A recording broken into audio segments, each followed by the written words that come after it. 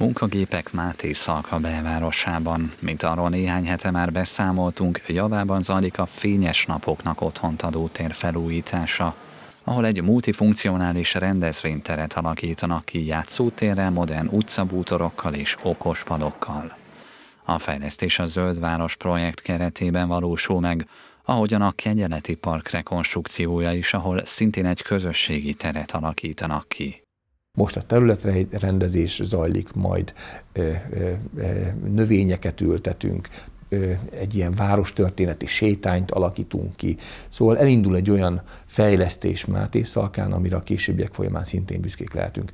És a harmadik helyszín pedig nem más, mint a Máté Szalkaiak egyik nagyon kedvelt helye, a Kispiac, ahol viszont a hátsó részében méltó környezetet alakítunk ki a parkoló autóknak, a vízzelvezetést megoldjuk, illetve ott a közlekedést állítjuk helyre. Máté Szalka történelmi főutcáján, a Kossuth utcán is folyik a munka. Itt állítják erre a mozi épületét, egy miniplex filmszínházat és modern filmtörténeti kiállítást kialakítva benne. Ezek megnyitását őszre tervezik.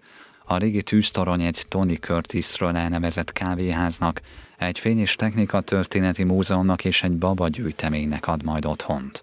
Az attrakciók leendő látogatóinak pedig jó hír, hogy lesz hol megállniuk, az utcában a parkolókat is bővítik.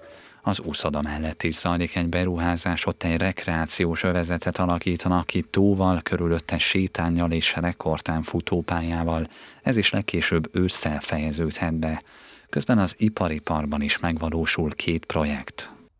Az egyik az utolsó 10 hektáros területnek a közművesítése zajlik, két utcán útépítés, járdaépítés, a közművek odahelyezése, illetve egy inkubátorház is készül. Mátiszalkán 75%-os készültségben van egy több mint 1300 négyzetméteres ipari komplexum, aminek egy részében irodai tevékenységet lehet végezni, ez a leg, egy kisebb része, és több mint egy ezer négyzetméteres üzemcsarnok épül, minden olyan betelepülni vágyó, vagy éppen már Máté szakán prosperáló cégnek felkínálva a szolgáltatásait, akik mondjuk a gyártáskapacitásukat ide akarják hozni, vagy növelni akarják.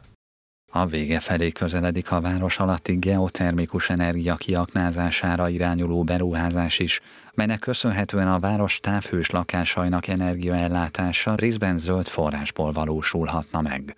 Ez ugyan díjcsökkenést a lakosoknak nem jelent majd, a szolgáltató cégnek hozott nyereség révén olyan korszerűsítésekre kerülhet sor, amelyekkel elkerülhetőek lennének a csőtörések és egyéb műszaki problémák.